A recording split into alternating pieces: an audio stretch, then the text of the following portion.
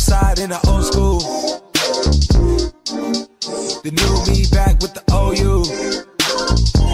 The dog always find his way back home, and it's so true. Later on, fall through and pop one.